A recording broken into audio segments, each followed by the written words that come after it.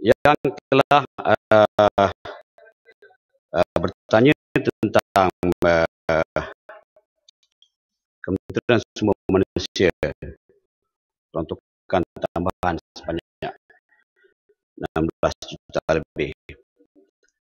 Uh, pada pada sulung uh, beberapa uh, pertanyaan yang dikemukakan terima kasih banyak di atas perhatian. Inilah uh, pentingnya sumber manusia Datuk Musi.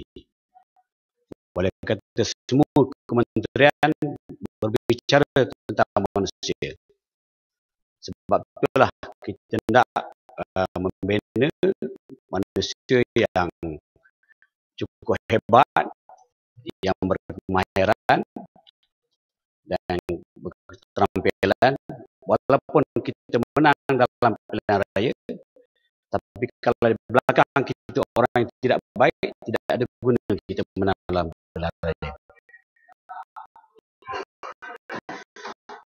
Uh, Datuk Musi uh, Parit Sulong bertanya tentang program latihan kemarin bersama rakyat sebenarnya berbagai-bagai program kita buat bersama rakyat ini. Antaranya ialah uh, bidang kemahiran meliputi semua sektor industri utama negara termasuk industrian, perhotelan, perkhidmatan, uh, ni program-program promosi karnival umpamanya hari belia karnival belia yang kita adakan baru-baru ni di Putrajaya kita juga Kementerian Sumber Manusia mengambil bahagian dalam job square di mana kita menjemput semua apa ni industri industri ataupun apa ni apa ni syarikat-syarikat yang mempunyai peluang pekerjaan dan uh, kita jemput belia-belia kita untuk uh, mendaftarkan diri untuk mencari pekerjaan. Dan Alhamdulillah dalam sambutan itu walaupun 12 juta dibelanjakan oleh Kementerian Belia tetapi kita dapat uh, mendapatkan kerja yang terdiri daripada belia. Sebenarnya uh, uh, yang amat pada uh, banyak lagi program-program uh, yang kita lakukan yang uh, mungkin kalau kita nakkan detail mungkin saya terpaksa berikan secara bertulis kerana uh, kita ada uh, pusat-pusat latihan yang melatih belia-belia ini. Uh, saya ingat itu yang disimbolkan oleh uh, Pak Sulun dan uh, uh, satu lagi ialah tentang isu uh,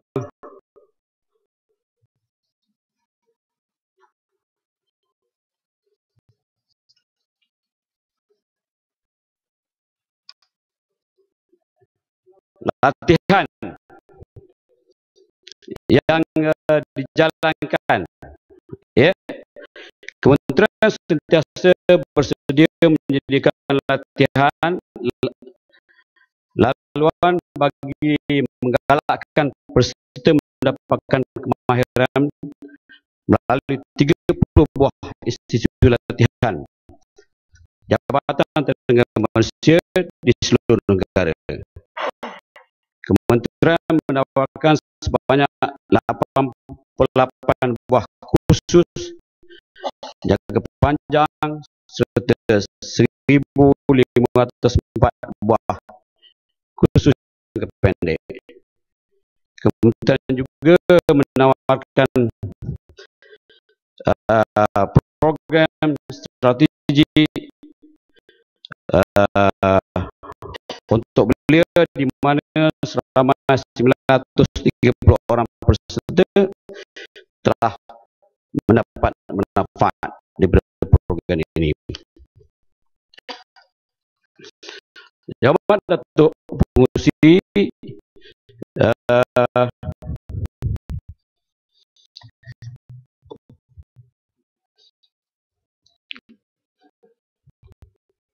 latihan untuk OKU. Uh, peluang latihan juga disediakan untuk OKU uh, oleh berbagai agensi.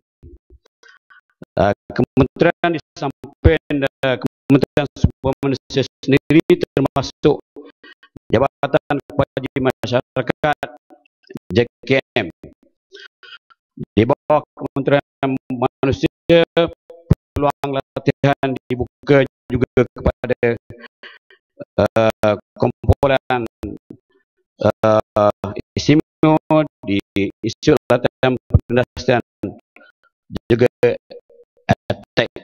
yang di bawah kementerian kita.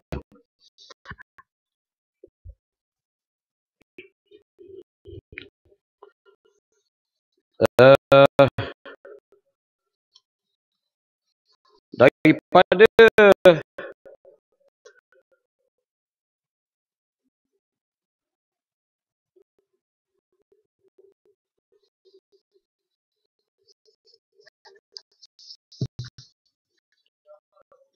yang yang kedua tadi uh, daripada uh, minta maaf hmm. isu pembuangan penempatan pekerja syarikat sepura daripada lumut JTK Jabatan Tenaga Kerja akan menyiasat segera isu ini sama ada berlaku pelanggaran di bawah mana-mana undang-undang perburuhan. Betullah saya bagi pihak kementerian uh, kalau ada apa-apa uh, komplain, aduan yang disampaikan kepada ahli Muhammad dan juga masyarakat kita sampailah kepada kementerian dan insyaAllah kita akan menyiasat dan kita akan mengambil tindakan kepada mereka ataupun syarikat-syarikat yang tidak bertanggungjawab. Uh, tentang batu, soalan daripada batu uh, Datuk Musti kes pendaftaran uh,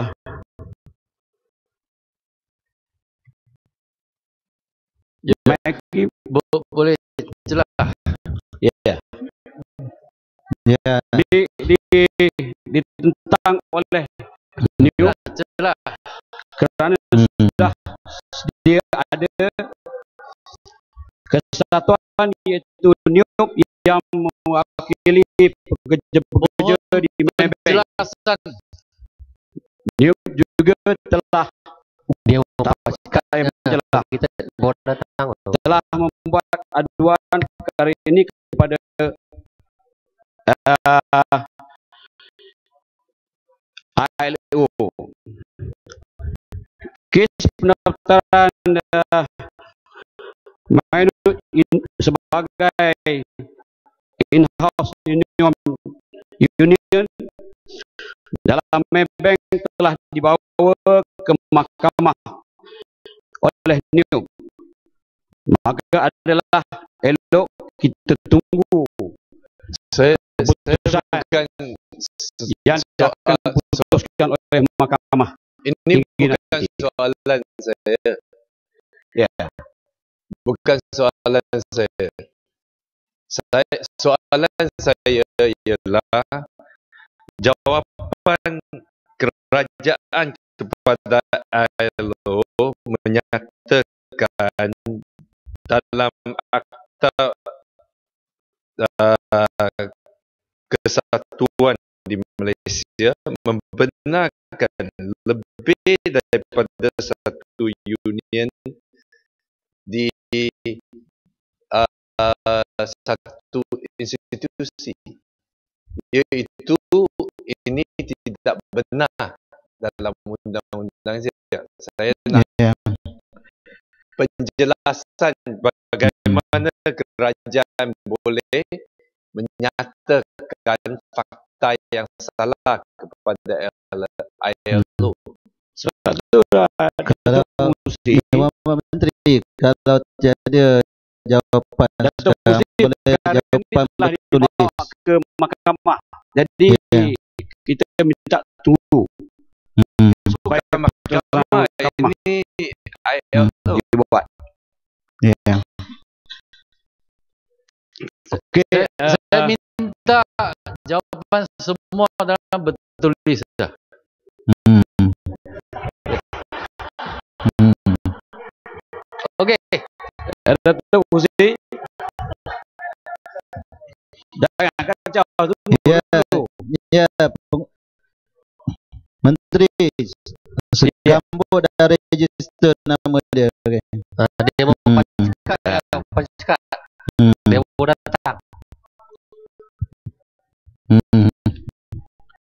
Uh, tentang apa ni? Kulai tadi. Perkesu akan membuat uh, siasatan berkaitan uh, perkara tersebut bagi memastikan pekerja uh, kontrak of service ini didaftarkan dilindungi oleh Perkesu dan bayar car caruman bulan. Ya. Jadi eh, saya ingat insyaAllah kita akan buat siasatan melalui Perkesu dan uh, Datuk Busi saya ingat itu saja soalan yang dikemukakan oleh ahli-ahli parlimen kita saya ucapkan terima kasih banyak Ya. dan uh, saya berharap juga kalau ada perkara-perkara yang akan menyentuh tentang kementerian ini uh, silalah laporkan kepada kita insyaAllah kita akan memberikan uh, jawapannya Ya, terima kasih Menteri. Datuk Mesti minta masalahnya Ah, tadi ya ada Muhammad Menteri data Hmm, yang saya minta supaya dibagi secara bertulis bertulis Timbalan Ya. Menteri bagi secara bertulis ke tak? tak malam ni lah esok. Ah, eh, Hmm, besok hmm, sempat ke? hmm. Ya. tak apa Datuk Musi saya akan berikan saya bertulis Masalahnya ialah bahawa wang sejumlah 16 juta 317 ribu 30 untuk kepala B14